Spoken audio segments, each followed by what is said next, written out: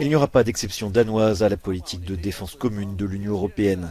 Selon les sondages de sortie des urnes diffusés par la télévision danoise, deux électeurs sur trois se sont prononcés en faveur de l'abandon de la clause d'exception entrée en vigueur il y a trois décennies. C'est la première fois que le Danemark renonce à l'une des quatre clauses d'exclusion prévues par le traité de Maastricht.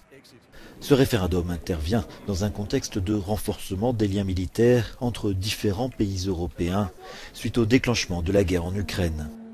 La peur provoquée par l'agression russe a conduit la Finlande et la Suède à abandonner leur neutralité traditionnelle et à demander officiellement leur adhésion à l'OTAN.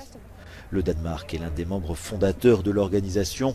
Pendant de nombreuses années, il est resté à l'écart des efforts déployés par l'UE pour élaborer une politique de sécurité et de défense commune.